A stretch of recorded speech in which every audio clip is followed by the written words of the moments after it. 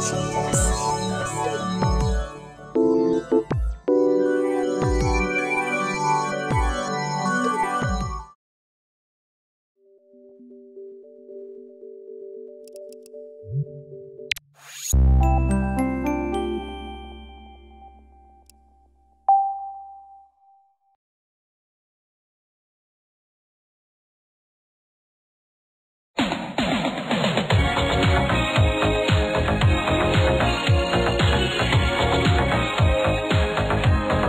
Hi, I'm Dom. Hello. And today, I want to show you how you can create a custom forwarder channel that looks like a real Nintendo channel, but actually forwards to a different WAD on your Wii. If you didn't understand what I said, basically we're going to be recreating what we saw in the preview, the Mii channel that actually goes into a Rickroll.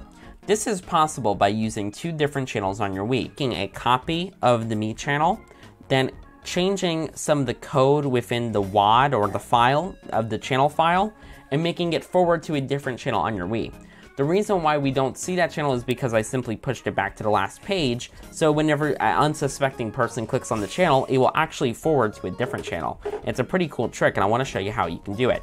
We already did this yet we already did this yesterday, so we're going to show you how to do it again. But again, depending on what channel you use, your results may vary.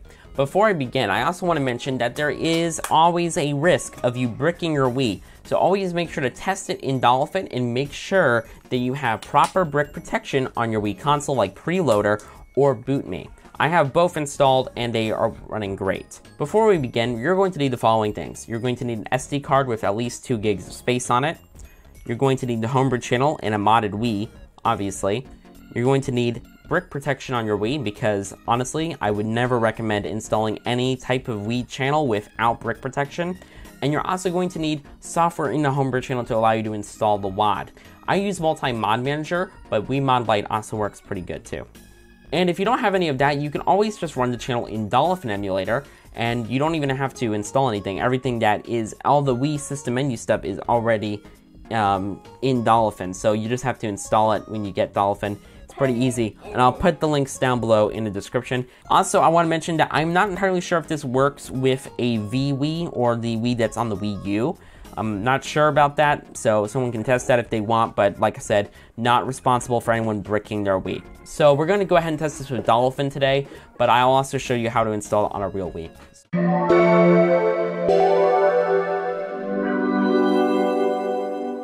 Okay, so the programs we're going to be using to do get this done are Customize Mii, NUS Downloader, ModMii, and we're also going to need a WAD to forward to.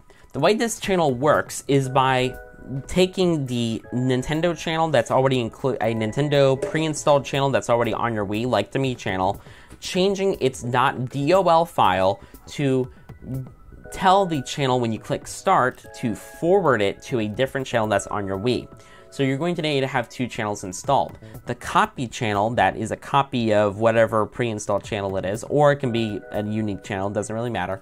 And you're also going to need the channel that it's going to forward to. The Rickroll channel, by the way, was brought to you by MRT84, who made that channel. He's really he really makes great mods. Am I right, Gio? Yeah, I watched his. Uh, I watched him and I replied to him. He watched my video. Too. Yeah, he even watched Gio's video and did a good job on it. That was kind of cool. I think he will watch my uh, tutorial. Hopefully, he'll watch our tutorial.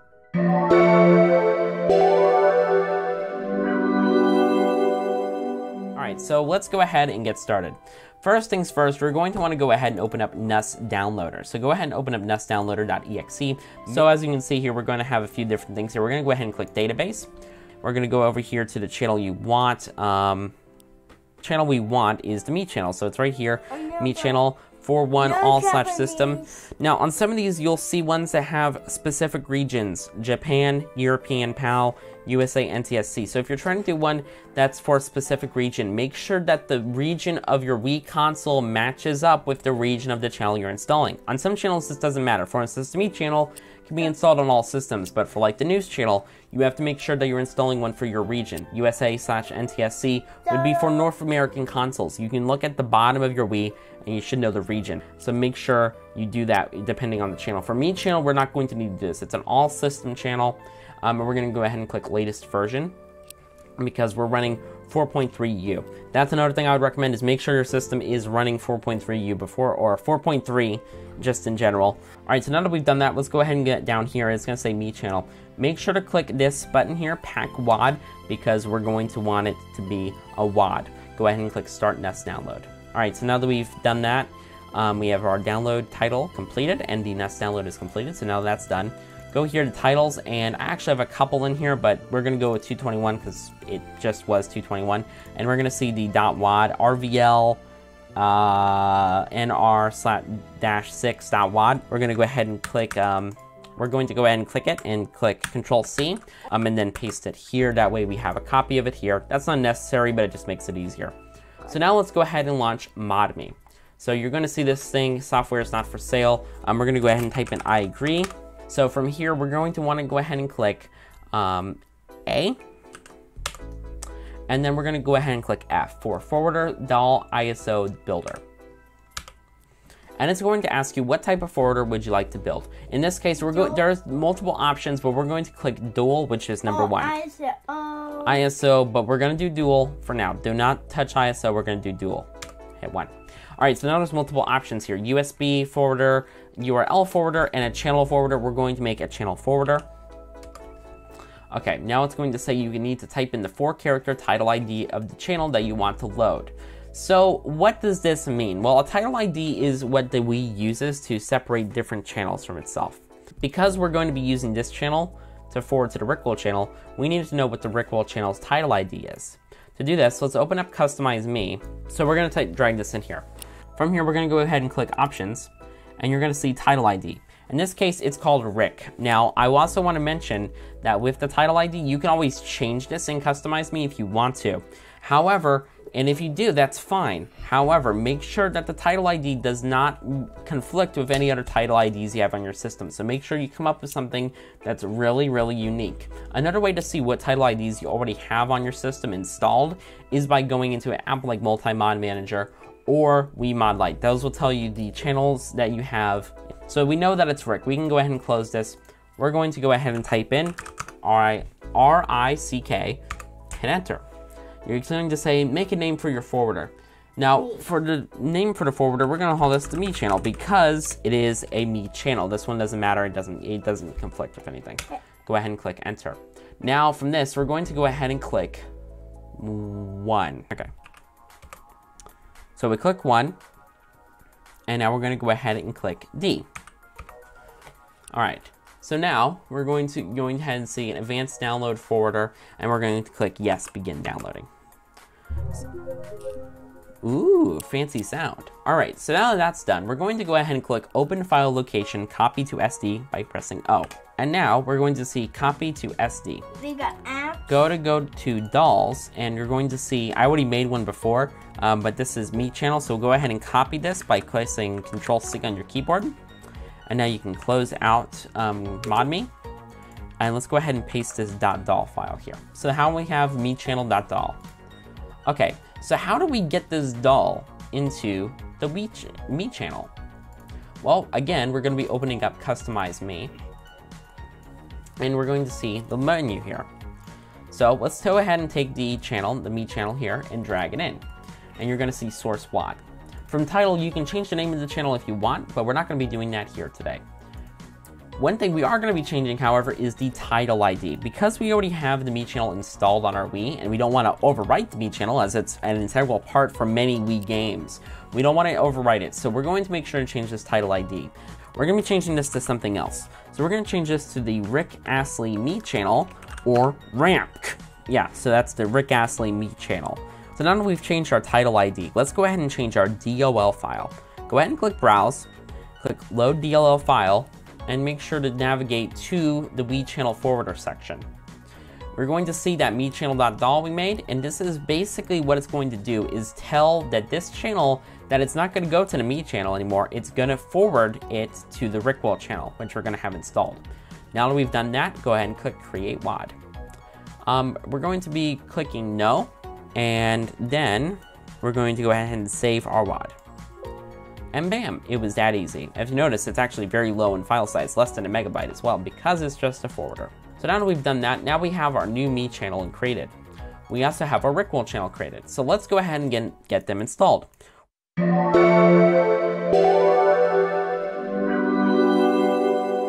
channel created. So let's go ahead and get, get them installed. We're first going to demonstrate this with Dolphin, as I would always recommend install checking with Dolphin first. Now, I've already had my Dolphin set up for quite some time, as I use it frequently to play games on my computer with better performance, obviously. Dolphin can sometimes be a bit heavy on machines, but running the Wii system menu shouldn't be a problem for a lot of Windows PCs. So I would just recommend checking it out. Obviously, we're going to want to load our Wii system menu. Now, if you first install Dolphin, you're not going to see this. when you first launch it, you're not going to see load Wii system menu. So what you're going to want to do when you first get Dolphin installed is click Perform Online System Update and click USA, or whatever region you've created your WAD for, but in this case US and then um, you'll be able to load the Wii system menu. So now that load system menu is an option, make sure to load up your um, emulator and um, make sure to open it up. I have some custom shaders and stuff, so it may not look exactly like this. I already have channels installed. Some of this stuff's already installed. It's not going to be like this for you. It's going to be different. But basically, you're going to launch the Wii system menu. Yeah, I even have a custom theme installed on here. So it's it will look different for you when you first install it. So let's go ahead and um, close this. We're going to click yes. So now that you've done that, um, now that you've installed the Wii System menu, we're going to go ahead and click Tools, Install WAD, navigate to where we have both WADs, Wii Channel Forwarder, and we're going to go ahead first install the, um, it doesn't matter what in what direction you install both. So we're going to install our new Mii channel. Then we're going to click it again and install the channel we're going to be forwarding to. You have to install both in order for it to work properly. Now that we've done this, let's load the Wii system menu again. All right, so here we are, Wii. All right, so now that we've installed this, let's go ahead and get started here. Oops, I accidentally clicked that. All right, so now that we've installed everything, let's go ahead over here and you're gonna see a new Mii channel. And you're also gonna see the Rick Astley channel, so, or whatever channel you're gonna be forwarding to. So in this case, we have the Rickroll channel and we now have the second Mii channel. So now let's go ahead and test the Mii channel. So let's go ahead and test a new Mii channel. We're gonna click it. Just, just like the Mii channel, we're gonna click start. And if all is right, there we go.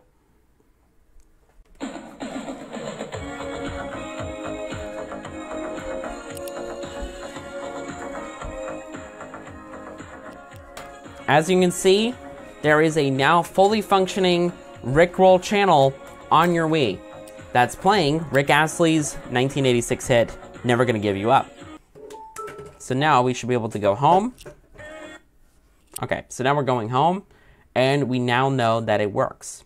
So now in order to pull the prank properly, we're going to move the Mii channel out of its proper position, and move it down here with a bunch of other channels, and move the Mii channel, which looks identical, completely identical. We're also gonna move the Rick Astley channel. So now when someone unsuspectingly opens the Mii channel, they'll think, oh, it's just the Mii channel. And when we click start, uh-oh, it's Rick Astley. Keep in mind, installing the forwarder, like we said, because we did not change the title ID, it won't overwrite the actual Mii channel. So let's go back into the other Mii channel and see if it still works. So this is the original Mii channel. You're going to notice something. It's the Mii channel, obviously. So when creating the forwarder, you want to make sure to have a different title ID than the actual channel that's pre-installed on your Wii. In this case, it's HACA for the Mii channel. We changed it to RAMC. So that way, the Wii doesn't get confused and delete the original Mii channel, which you need to function on a Wii, basically. So now that we've done that, let's try installing it on a real Wii console. Now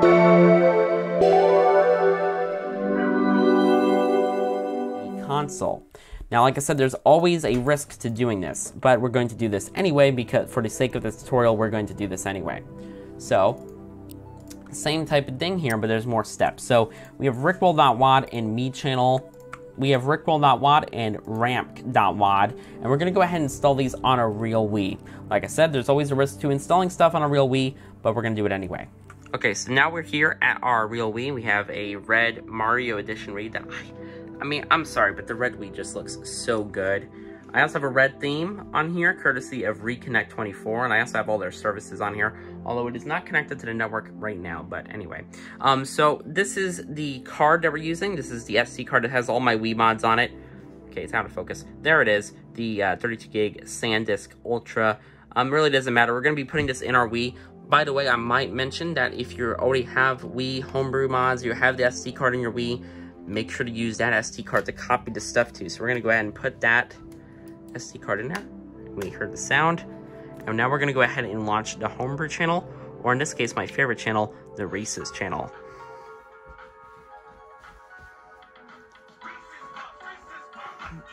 Hello. That's my favorite channel, honestly. That Reese's Puffs channel is a channel forwarder. I believe MRT84 also made that, but it just shows you the power of channel forwarders. So let's go ahead and launch Multi-Mod Manager. You can also use Wii Mod Lite. I use this one. It really doesn't matter. They're both very similar. Of course, it is bouncing all around here because I'm trying to point it, and I got lights and stuff that kind of screw with it. So now that we're in Multi-Mod Manager, or um, we're going to go ahead and click um, a couple things. So first things first, we're going to go ahead and click load Nutter iOS, and we're going to go load to um, 249, as you can see there. Let's go ahead and click that, reloading to iOS 249. Now we're going to go up here to WAD Manager. Now it's automatically going to go to a folder called WAD. Now when you transfer to your SD card, you might transfer it to WAD, but I already have a lot of WADs in here. So we're going to go back and I made one called A1 mods. That way it's at the top of the list because it's alphabetical. And we have both mods here. So we're going to go ahead and install both. So we have Mii Channel ramp.wad. Again, make sure before you install it on your Wii that it has a different title ID. I can't stress that one enough. We're going to go ahead and install that, and the blue light's going to start blinking on your Wii. And go ahead and install Rickroll.wad, and we'll see the blue light install. Okay, so now we're finished. We're going to go ahead and click A. Um, hit use the back button on your Wii um, and then click home. And it's going to say exiting up at the top. Exiting. and um, now we're going to go home. Hit home. Exit. The, oh, I shut down. But you can shut down too. It don't really matter. RiiConnect 24. Press A to continue. The it, Yours probably won't look like that. I have a custom theme. Alright, so there you go. Now we have everything installed. So everything looks the same, but if we go to our next available slots, you're going to see we have the Mii channel and the Rickroll channel. Like I said, both are going to need to be installed. So when we let's go ahead and test this on a real Wii. So let's open the Mii channel. So it looks just like the Mii channel. Let's go ahead and click start. And it should, realistically, the first time you launch it, it's going to say creating a save file, but it won't do that. And there you go, Rick Astley on our Wii. Beautiful. And we're going to go home. And now we can go ahead and rearrange the channels and it will look just like the real Wii cha Mii channel, but it will actually be Rick Astley. So anyway, there's your tutorial on how to do it. I'm sorry if I really couldn't explain it that well or if I messed up in certain parts. Like I said, this is my first tutorial um, on the Wii. So I'm sorry if my tutorial's not as good as some other ones. But anyway, that is how you can do and make your own custom Wii channels. Like I said, this may only work with some Wii channels, not all of them. And I am not responsible if you brick your Wii. There's always a risk of that happening. Anyway, thank you guys for watching. If you enjoyed this content, make sure to subscribe because we're going to do some more videos on the Wii and in some other Nintendo videos as well. And um, yeah. Nintendo. We're big fans of Nintendo, so we love Nintendo and Nintendo products. And so thank you guys for watching. Um, go ahead, comment, like, and subscribe, and we'll see you guys next time. Bye-bye. Today is gonna be the day that they're gonna throw it back to you. By now, you should have somehow realized what you gotta do.